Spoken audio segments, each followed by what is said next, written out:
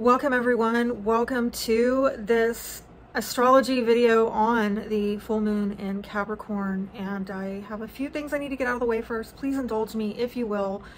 Um, I am sorry that I did not get out the astro forecast for the last new moon in Gemini. We'll speak a little bit on that um, before we get into the full moon in Capricorn. And I'm going to try to make this video a little bit more brief as well um, because honestly, my energy has been pulled in different directions with putting out the war on women. I hope you caught it and the war on men, a lot of research. And I'm also feeling very led to do a video on the war on families during Cancer and or Leo season. We'll see how it goes. Um, it's pulling my energy away from these monthly astro readings, which I enjoy doing, but I am feeling very spirit led to, to speak on these other issues um, at this time. And right now my North Node is in the 12th house. So, I mean, I just got to follow spirit. And, um, and it's kind of a little bit hard on me because there's a part of me that wants to be consistent with these astro uh, videos. But then there's another part of me is like, yeah, I, I'm getting pulled over here for this time being. And I think, yeah, once I finish the war on families, video. I'll get back on track um, with being more consistent with these Astro videos, but for the time being, um, my apologies on not getting one out for the last new moon, and also this video is going to be a little bit mm, more condensed not as long-winded. Hopefully that's a positive. I don't know. We'll see. Let me know in the comments below, you know, how y'all feel about that. Um, and also, I got to say something else. I was like so wanting to just get that new moon in uh, Gemini readings, all those readings done for the signs. I was so like wanting to get it done that um, I realized after all the videos were released, um, I screwed up on the houses. Oh my gosh. Except I know they got the Gemini reading and the Sagittarius reading correct, but I got the other ones like backwards in reverse order. My bad. I don't know what I was thinking. I guess I wasn't. Um, we will blame it on, you know, Neptune squaring Gemini. Yeah, okay. Um, going on during that time. Yeah. So I felt really bad about it. And the old me would have just been like, oh my gosh, scrap it all, take them down, start over. But then this other part of me was like, move on. just go, just move on with it, you know? And oddly, like Sagittarius was correct, but it was my least viewed video. So, and I had other people saying that it resonated. So, you know, sometimes just let go, let God, trust spirit was there in the cards. Um, but just as a matter of integrity, I feel bad. Like, oh, I fumbled and um, I just double checked this time around when I was doing the full moon and Capricorn readings. And um, by the way, I am noticing some themes when I sit down and do these readings, right? Okay, let me share with you very briefly that during the readings for the new moon in Gemini, um, I kept getting a lot of uh, signs showing up um, with the tower card in the position of what is hidden, what they are not seeing clearly, okay? Um, either it was a tower card in the upright or tower card in reverse, and I really take it to mean that collectively a lot of people right now are not seeing that there is something unsustainable about what they're doing or their direction or their course of action. They're either not seeing that this is not sustainable or they're not seeing that there are integrity issues. They're not getting the whole truth about the matter. They're, they don't have all the information. Um, and so I was seeing that during the new moon in Gemini readings. Now what I'm seeing with the full moon and Capricorn readings, a lot of cards coming up showing that people are feeling like frustrated, okay? And that um, they are bored or not putting in the work or frustrated because other people aren't putting in the work or they're putting in the work and they're not being rewarded. And um, honestly, the stuck energy could be blamed on retrogrades, but I am getting a lot of people feeling blocked and frustrated about it. And I feel it kind of goes back to that new moon in Gemini consistent collective energy of something is not sustainable. So if you are right now uh, coming into this full moon in Capricorn feeling like, why can't I move this forward? What is the problem here? Um, you maybe need to wind it back and be like, well, I mean, was this ever sustainable in the first place? did I ever get the whole truth and nothing but the truth on this matter? I mean, like, you need to be brutally honest with yourself. Are you like barking up the wrong tree? Okay. I mean, I hate to say it like that, but I feel like with this full moon in Capricorn, it is going to bring this issue up again with integrity and asking us, really giving us the opportunity to pursue more integrity and more wholeness and more endurance in our relationships and looking at how we improve security issues. And I saw some weird stuff going on, by the way, in these readings where you have some people, they're doing great. Things are stable and things are secure for them. But the way they're going about getting the stability and security is by making other people unstable and un not secure and that needs to be addressed. And then you have other people who they don't feel stable and secure because they're in relational dynamics where for what i just said right it's the flip side of the coin where we have got to maybe figure out i can't win with this person. They're not going to get me where i want to go because they don't have the tools in the shed um, they don't share values whatever. I feel like i've been saying this a lot but it's almost like a magnifying lens is really getting put um, on this issue of, hey, like you're being forced to really look at the sober facts of, is this sustainable? Can this go the distance? Is this whole? Um, can it endure the trials of life, you know, the testing and the trials of life?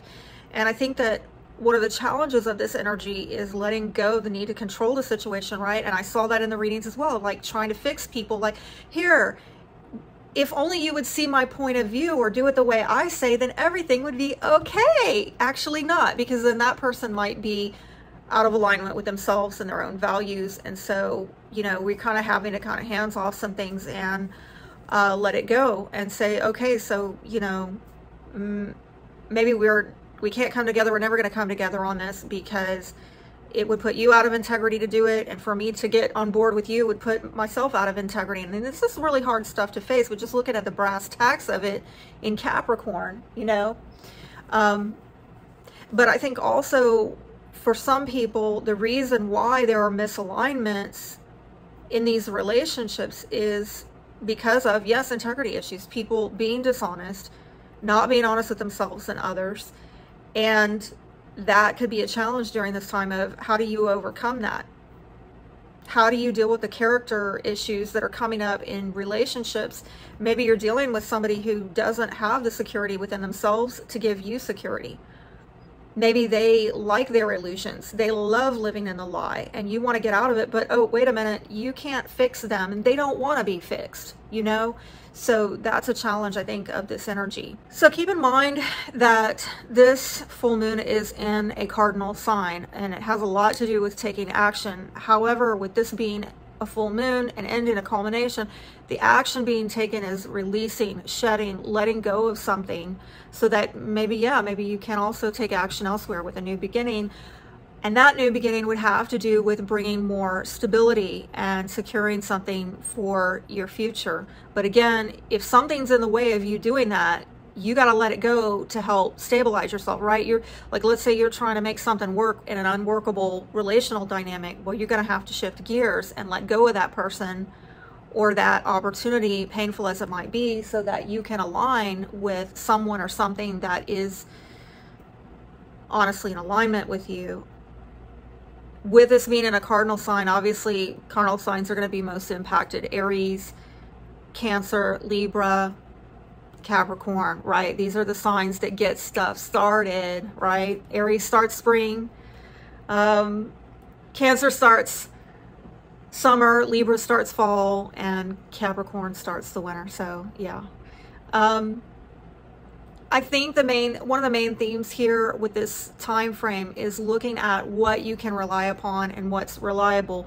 Going back two weeks ago to that new moon in Gemini, let me say you might have had to switch gears around that time. You might have had some plans that you set in place, but with that new moon squaring Neptune, you realize, uh oh, I got to switch something up. I got to change things because it's not. That's not what it seems, right? Just for an example, I had taken on a freelance contract and they started getting sideways with me and I started my spidey senses started saying oh my gosh they're getting free work out of me and they're not going to pay me so I started saying okay well that's fine. I'll take on additional work, but um, you're going to have to put up in advance. You're going to have to put up security towards the completed project.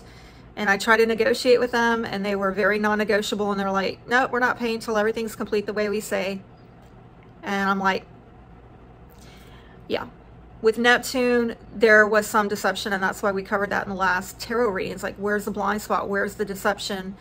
And so for me, I was like, hmm, okay, um, that was a trial run. And it's not that I'm not going to do any more freelance work as a writer, but I'm going to change the way that I do it to put more preventative measures to ensure that my time is not wasted again by people who probably don't want to pay, which by the way is super typical with freelance work. Oh, if you want to help me not get for, have to do my freelance work, sign up for a private reading. That helps.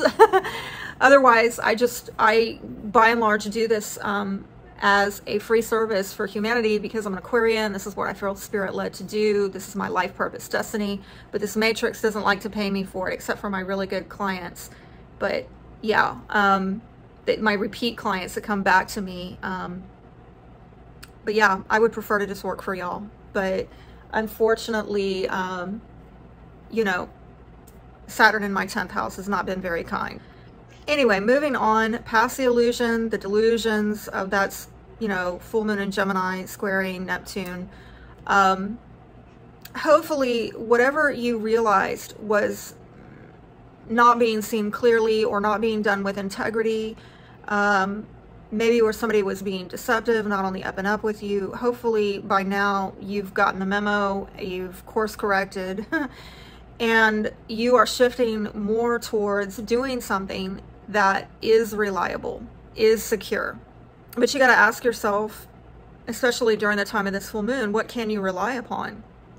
There could be timing issues at play, um, maturity levels at play, right? Having to realize that some people mean well, but they they have some growing up to do, and they're not ready to run with the big dogs. You know what I'm saying? Um, there might also be karmic debts that come up at this time that are relevant where again it's like yeah they want to put in on this but they're going to have to go face some other obligations or responsibilities or commitments they're already overextended overcommitted so they want to help you and they want to join forces with you and they want to secure things and stabilize but again are they your person or is this your opportunity um, you will have to keep these things in mind of timing issues maturity levels karmic debts um, outstanding obligations and commitments. And also with this energy, I'm just going to be straight with you, not a fan of Moon and Capricorn because I remember going through it last year. By the way, it was like, my gosh, when did we go through this? You think back, okay, think back to the last full moon in Capricorn, which was July 13th of last year, 2022. I felt so emotionally constipated during that time. I had to go out in nature. I had to go, I had to get out. I had to go out and, and swim and get in the water and get around some trees and get some fresh air because it was just a very, very stifling feeling. And so just be aware of that if you are feeling very stifled or reserved or, you know, held back emotionally during this time. Uh, it's an energy. This too shall pass. Um, I think some feelings that may come up um, for a lot of people, you know, apart from what I saw in the cards with the frustration and feeling blocked and stuck and, you know, things like that, um, is maybe feeling like I need to do the right thing. What is the right thing for me to do? And uh, one thing we, I've tried to bring up in the readings is honoring your feelings because I think that sometimes Capricorn energy just keeps plodding along and doing what needs to be done and being responsible, but the emotions of the situation get kind of backburnered or put in a backdrop where it's almost like you tune it out. Um, or it's very at a surface level, like not wanting to get to the depths of the emotion. And so, um, again, maybe because of the energy, you can't really go deep in it or you it's hard to go deep in it for some of you, um, but at the same time, don't lose sight of your feelings. Really uh, acknowledge and tune into those feelings, and that's something I tried to bring up during the readings to help you guys figure out perhaps what emotions need to be tuned in into during this time. So that yeah you do the right thing but you don't dishonor how you feel. That's integrity right? That's wholeness. This new, sorry, this full moon is going to oppose the sun in Cancer. So I do feel like it's bringing about a time when a lot of people are looking at security issues, particularly, you know, material versus emotional issues. Um, that's really getting highlighted and this contrast between at what point do I nurture things and at what point do I get a stiff upper lip and be disciplined you know it's this mother father dichotomy um, and it's also about you know balancing your private life with your public life having a work life balance and so that's maybe a good question to ask yourself during this time. Where do you need to balance those things out? I mean, for me personally, I kind of like today I'm in a workaholic mode where I've been just hammering all day and I don't want to stop. I'm like the Energizer Bunny, you know, with my Mars and Capricorn. but, um, but Spirit with that North Node in the 12th house has been like, yeah, Wednesday is your day off. And that's my day when I go out in nature and I just totally decompress and I reset my energy out in nature. So, you know, not to be religious or anything or to tell you that you thou shalt this or that, okay, or to be really like legalistic, but you know, a lot of religions do have a day of rest. You know, for the Christians, it's it's Sunday. For the Jews, it's Saturday, Sabbath. You know, um, and I'm not going to prescribe that you set any particular day, but I think it would be a good general spiritual practice. And I feel like Spirit's been showing that to me that I need to have like one full day where I rest, I recharge, and it's okay to be, quote, lazy, what the world would call lazy. It's okay to do nothing, right? How do you bring this balance back into your life if it gets too much of one thing and not another, okay? Not enough of another, I should say. Yeah. I think this is also an energy that is helpful for us clarifying what our emotional needs are versus our material needs and setting up appropriate boundaries to get those needs met. Uh, not an easy thing because sometimes it's, it's at odds. Like maybe today I don't feel like going to work but if I don't go to work, I can't pay my bills, and then I'm gonna really feel bad, you know, like we, you know. And the Aquarian thing is we're gonna compartmentalize her. So I want to go to work, so I don't have something else to be depressed about if I don't go to work and I can't pay my bills, right? Um, so I'm gonna go to work, and then I'll just I'll be down and depressed when I come home. Not, you know, I'm not really. I'm not saying that that's going on. I'm just saying that would be an Aquarian mentality that we'll we'll deal with that at a better time, you know, to deal with it. Um, but also, you know, taking a sober look at what is what is actually supporting you right now. And I say that's a sober look or a sober reality because it might not be what you want to see. Right? It's one of these things where it's not what you want to hear, but what you need to hear. Like, oh, you really want to join forces with this person or this company or this whatever, fill in the blank, but it's not going to get you to where you want to go. So are you willing to remain stuck? Are you willing to not be stable and secure because it's not going to get you to where you want to go? That's been a hard pill, by the way, for me to swallow. Really hard pill for me to swallow. Yeah, it reminds me of a childhood memory. Um, I had, I guess I've got a picture from my childhood when I was like three years old. I was trying to um, get on one of these I wouldn't call it like a statue, but it's kind of like a concrete, little concrete lawn art thing. And it was a little donkey carrying a, um, a wagon. And I was three years old. And I got on there to, you know, hitch a ride. And uh, three years old, not understanding it's made out of concrete. It's it's not gonna move. and I kept trying to get get the donkey to go, and uh, I started getting frustrated and crying. And of course, the adults thought this was so funny. They got a kick out of it, and they took a picture. Right, Gen X. Yeah, welcome to the emotional empathy of the um, the parents and grandparents of Generation X. They're gonna laugh at you when you cry, but that's what they did. They took a picture. They thought it was funny that I thought that I could go somewhere with this little concrete donkey that I was trying to ride off into wherever. and I don't know. I guess I'm I'm bringing this up because some of you may be kind of like that, and that that childlike way of you're trying to get something to go that it, it, it it never can, it never will. and you're so committed to but I, I want to i want this thing to work. And it's it's not gonna work. And you have to regroup. You have to figure out okay you know you've got to accept this is not going to get me where i want i want to go. I'm gonna have to get off of this and get onto something else like my two feet. Oh wow. North node in the in taurus. Okay. But fortunately jupiter's in taurus right now. So hey you got some blessing with your two feet right? Yeah. On your rightful path not other people's okay so just keep that in mind. Um, try to stay encouraged, even though I know it's frustrating. And I think that we're having to find some things out that mm, not, again, not what we wanted to hear, but what we need to hear. Um, with this full moon also opposing Mercury in Cancer, people are very much thinking about this whole issue of um, emotional security and how do I nurture these issues in my life. Um, but again, because it's an opposition, there could be some kind of information that comes in. Um, or you just start thinking and realizing something uh, that, oh, wow, this is, again, this is not stable. This is not going to support me. There's a lack of support issue, a lack of stability, a lack of longevity, a lack of integrity. Um, yes, maybe some new information helps bring the wholeness of truth into clear understanding of, oh, yeah, that is not going to get me there. And that's why. Now I can put my finger on it and this is why. And so yeah I think that might bring some revelation as to uh, what's ending. And some of you might already know coming into it and it's just more confirmation. Um, that let's say you know that something is ending or expiring like a lease. You know that that that something is coming to culmination.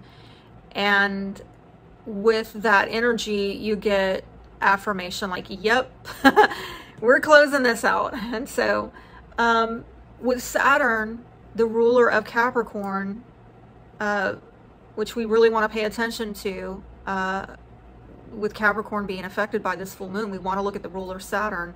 But Saturn is retrograde right now in Pisces during this time. And so collectively, we're all going through this restructuring in terms of how we are going about getting the support that we need. I know it sounds like I'm like repeating myself, but it's layer upon layer where not only is there restructuring, but maybe you're having to readjust boundaries. You're having to maybe reset boundaries. And again, also reassessing uh, what you're going to put your faith into because with with Saturn and Pisces, we're all being taken to task. It's like, well, you want to believe in this pie in the sky stuff, right? Like that a little concrete donkey is going to go, you know, carry you off into I don't know, never never land. Three year old thinking, but um, the reality check with Saturn there is ah, it doesn't move and it, it never it never will. It wasn't built to. That's not the purpose. I'm getting a download right now as I'm I'm talking about this. Some of you there has been a reluctance to address purpose in your life and the lives of others. And that's why there's some misalignments going on, right? Going back to that donkey. The purpose of that little donkey, I don't know why I'm on that. I had this is totally spirit led because this is not in my notes. the purpose of that donkey was never for mobility. It was for yard art, decor, okay? And when I got on there as a little three year old, it fit me perfect. It felt right. It looked cute. Looked like we were going to be best friends. But I didn't understand its purpose was not in alignment with mine. My purpose was to move forward. Its purpose was to stay put. okay? So there's something going on here with this during this time where you have got to reassess what you're putting your faith into and uh, dealing with maybe some sober reality checks against wishful thinking that's not really grounded. Yeah. Also, Saturn retrograde in Pisces is sextile uh, this full moon in, in Capricorn, and Saturn is trining the sun in Cancer. So, hopefully, during this time, um, yes, even though there's some sober reality checks, you are coming out of it with a more viable plan or strategy uh, yes, it might cause you for a moment there to pull back and figure out um, how do I integrate the lesson, the deeper truths in order to get the growth in my life. And the sun is there giving support and vitality to nurturing this growth. So it's a super positive thing, even though, again, might cause you to just take a step back for a moment like mm, how do we like incorporate this reality check to get the growth but ultimately you do get it okay and with Jupiter and Taurus trining this full moon in Cancer, sextiling the Sun and Mercury in Cancer, that energy from Jupiter is going to, in the most, you know, positive way of looking at this, uh, it will soften the sternness of Capricorn. Um, you know, on the downside, obviously it can really like put a magnifying lens on stuff. So you have to be aware of that. But I think again, we're talking about sextiles and trines. So that's a real nice, lovely energy where I think things will not be so harsh. Okay. Um, or it'll help, it'll help you to walk it off a little bit better. Capricorn's great about walking stuff off. I mean, Capricorn just pff, up that mountain, sees the mountain, climbs it, just walking it right off. It's a chess move it's a chess game. It's strategy to them, right? Some of y'all are, you know, maybe losing at this game of life and it's it's not fun. These chess moves are stressful, challenging, and you know, right? But Capricorn energy just kind of like, eh, walk it off, walk it off. You know, it's it's just a game. It's a game. Who cares? Why stressing about it, right? I, I've seen Capricorns have this mentality. Um, I think also the energy will probably allow for more material opportunities and um, culminations that allow for more opportunities. So that's positive. If something comes to an end, it actually might make way for a new beginning on the material front. And I like that, right? I mean, I'm personally right now looking at, I'm waiting, waiting, waiting for an opportunity to come in and I know that when that opportunity comes in, I can let go, release an opportunity that I'm currently in, right? There's some overlap there and it's a nice, hopefully I'm God willing, it's going to be a nice transition flow where I go from one thing to the next rather than this abrupt ending and then you have an abrupt start and there's some lull in between, right? I'm hoping with the sextile and trine, it's a nice smooth transition, an exchange from one ending to a new beginning if you understand what I'm saying. I think you do. Um, and I think also this energy is going to amplify what you're valuing and it's going to help you get clearer with your direction, your sense of direction, and what is giving you solutions to those ends, um, and what is helping you to nurture those solutions. But again, the energy is, is pretty nice. Um, I think helping to assist all of us in releasing what has been getting in the way of finding solutions. Right, I'm in my own way at three years old when I think this little concrete donkey is going to take me somewhere. so I got out of my own way. I finally figured it out. This thing ain't moving, honey. Get up off on your own two feet and move it forward. And so I, I think that's kind of more of the energy that uh, we're, we're going to be shifting into. Think back to um, December 23rd of last year around Christmas of last year because that's when we had a new moon in in Capricorn. So this is kind of like now we're coming to the tail end of that cycle and think about what you initiated during that time that is possibly coming at a culmination now from that time frame. It's like six months ago, over the last six months, you sowed the seeds back in December of 23 and what is paying off now hopefully you're getting a really good payoff. You're seeing like, aha, I'm finally coming out of that six month cycle.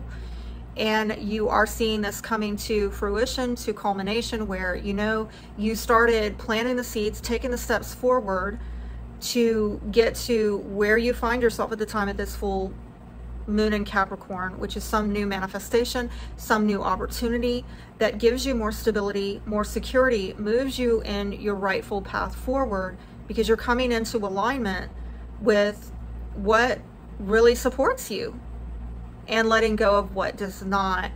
I hope that helps you. I hope it's blessed you. Thanks for watching. And until next time, y'all take care.